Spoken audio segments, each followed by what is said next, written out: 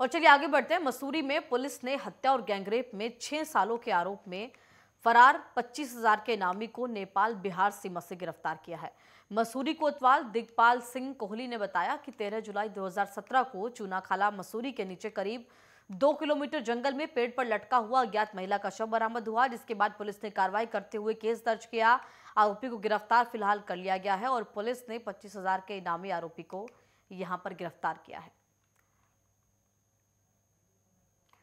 बिहार, नेपाल सीमा से आपको बता दें कि पुलिस की तरफ़ से गिरफ्तारी की गई है।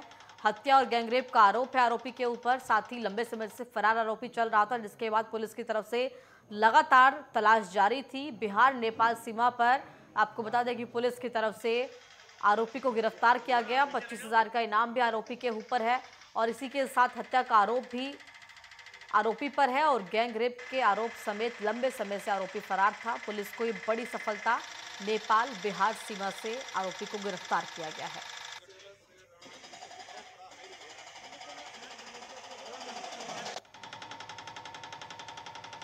पुलिस महानिदेशक उत्तराखंड महोदय की तरफ़ से एक अभियान चलाया गया था।